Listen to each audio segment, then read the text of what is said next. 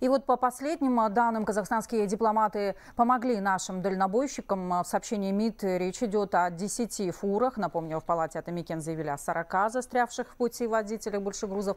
Семеро казахстанцев и еще четыре иностранных водителя после а, проведенных дипломатами переговоров с российской стороной продолжили свой путь. Работа по возвращению наших соотечественников на родину из Украины продолжается.